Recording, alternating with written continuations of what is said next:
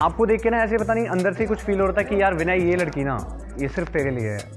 और पता नहीं अंदर से एनर्जी आया और मैं आपके पास बात करने आ गया। थैंक यू मज़ाक नहीं जब मैं आ रहा था ना तो मेरे ऐसे रोंगटे खड़े हो रहे थे। पर अब कुछ और खड़ा हो रहा है।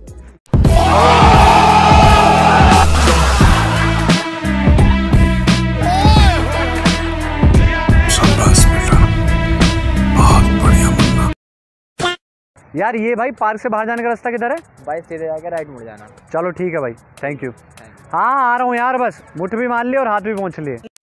लग गए। लग गए।